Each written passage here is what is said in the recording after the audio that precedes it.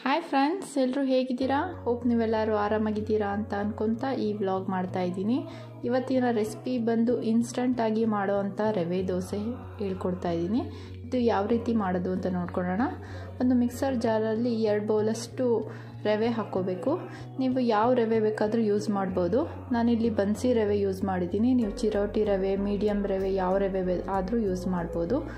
ಇದನ್ನು ಮಿಕ್ಸಿ ಜಾರ್ಗೆ ಹಾಕ್ಕೊಂಡು ಇವಾಗ ನೀಟಾಗಿ ಫೈನ್ ಪೌಡ್ರ್ ಮಾಡ್ಕೊಬರ್ಬೇಕು ನೋಡಿ, ಈ ರೀತಿ ಮಾಡ್ಕೊಂಬಂದ್ರೆ ಚೆನ್ನಾಗಾಗುತ್ತೆ ದೋಸೆಗಳು. ನೋಡಿ, ಈ ಥರ ಉದ್ರ ಆಗಿರಬೇಕು. ಇವಾಗ ಇದನ್ನು ಒಂದು ಮಿಕ್ಸಿಂಗ್ ಬೌಲ್ಗೆ ಟ್ರಾನ್ಸ್ಫರ್ ಮಾಡ್ಕೊತೀನಿ.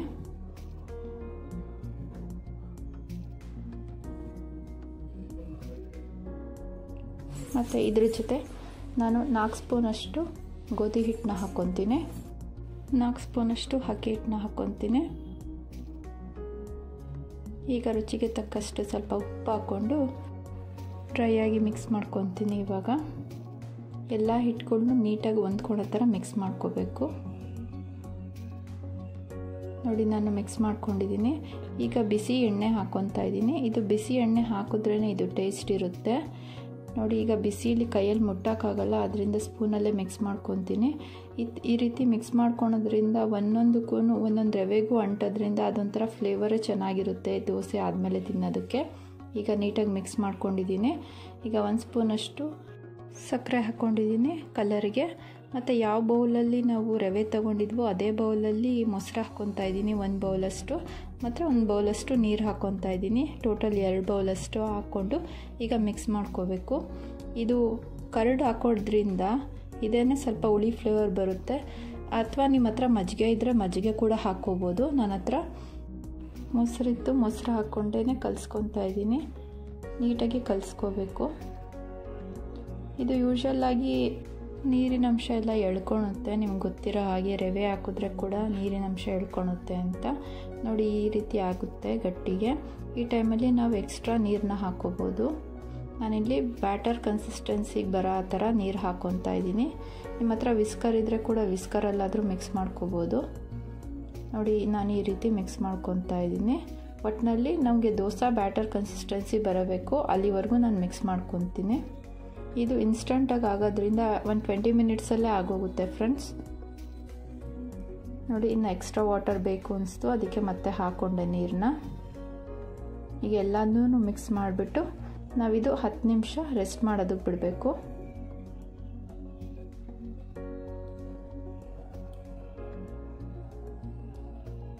ಈಗ ಹತ್ತು ನಿಮಿಷ ಆಗಿದೆ. ನೋಡಿ, ಯಾವ ರೀತಿ ಗಟ್ಟಿಯಾಗಿದೆ ಅಂತ. ಮತ್ತು ಇದಕ್ಕೆ ಸ್ವಲ್ಪ ನೀರು ಹಾಕ್ಕೊಂಡು ಬ್ಯಾಟರ್ ಕನ್ಸಿಸ್ಟೆನ್ಸಿ ಬರಬೇಕು. ಅಂದರೆ ನಾವು ದೋಸೆ ಹಿಟ್ಟಿಗೆಲ್ಲ ಮಾಡ್ಕೊತೀವಲ್ಲ, ಆ ಕನ್ಸಿಸ್ಟೆನ್ಸಿ ಇದ್ದರೆ ಚೆನ್ನಾಗಾಗುತ್ತೆ. ನೋಡಿ, ಆ ರೀತಿ ನಾನು ಮಿಕ್ಸ್ ಮಾಡ್ಕೊತಾ ಇದ್ದೀನಿ. ಇದು ರವೆ ಆಗಿರೋದಕ್ಕೆ ಎಲ್ಲ ಎಳ್ಕೊತಾ ಇದೆ ನೀರನ್ನೆಲ್ಲ ಅದಕ್ಕೆ ಮತ್ತೆ ಮತ್ತೆ ಹಾಕ್ಕೊತಾ ಇದ್ದೀನಿ. ಈಗ ರೆಡಿಯಾಗಿದೆ ಬ್ಯಾಟರು. ಅಷ್ಟರಲ್ಲಿ ನಾನು ಒಲೆ ಮೇಲೆ ತವನಾನು ಕಾಯಕ್ಕಿಕ್ಕಿದ್ದೀನಿ ನಾನು ಯೂಸ್ ಮಾಡ್ತಿರೋ ತವ ಬಂದು ಕಾಸ್ಟ್ ಐರನ್ ಅದರಿಂದ ನಾನು ಮುಂಚೆನೇ ಕಾಯಕ್ಕೆ ಇಟ್ಕೊಂಡಿದ್ದೀನಿ. ಫುಲ್ ಹೈ ಫ್ಲೇಮಲ್ಲಿ ಕಾಯಕ್ಕೆ ಇಟ್ಕೋಬೇಕು. ನೋಡಿ, ಈಗ ಕಾದಿದೆ ಹೊಗೆ ಕೂಡ ಬರ್ತಾ ಇದೆ, ನೋಡ್ಬೋದು.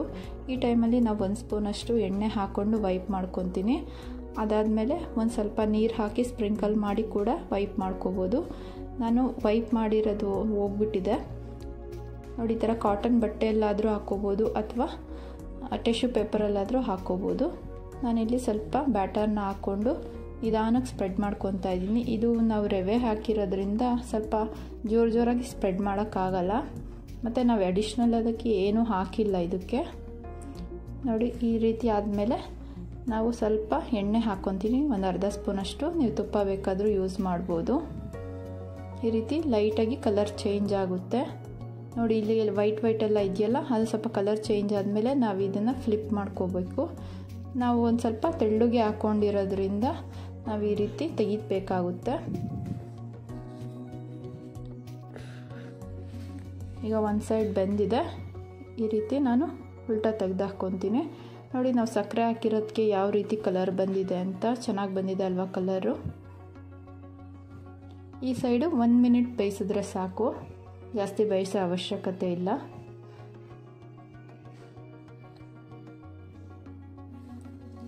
ಈಗ ರೆಡಿಯಾಗಿದೆ ನಮ್ಮ ಇನ್ಸ್ಟಂಟ್ ದೋಸೆ. ಇದು ನೀವು ಮಕ್ಕಳಿಗೆ ಟಿಫನ್ ಬಾಕ್ಸ್ಗೆ ಎಲ್ಲದಕ್ಕೂ ಹಾಕ್ಕೊಡ್ಬೋದು. ಅದೇ ಥರನೇ ಬೇರೆ ದೋಸೆಗಳ್ನೂ ಹಾಕ್ಕೊಬೇಕು. ಫಸ್ಟ್ ಟೈಮ್ ಮಾತ್ರ ಎಣ್ಣೆ ಹಾಕ್ಕೋಬೇಕು. ಅದಾದಮೇಲೆ ಬರೀ ವಾಟರ್ ಹಾಕ್ಕೊಂಡೆ ಸ್ಪ್ರಿಂಕಲ್ ಮಾಡ್ಕೋಬೋದು. ಇಷ್ಟ ಆಗಿದ್ದರೆ ಸಬ್ಸ್ಕ್ರೈಬ್ ಮಾಡ್ಕೊಳ್ಳಿ ಪಕ್ಕದಲ್ಲಿರೋ ಬೆಲ್ಲೈಕನ್ನ ಕ್ಲಿಕ್ ಮಾಡಿ. Thanks for watching.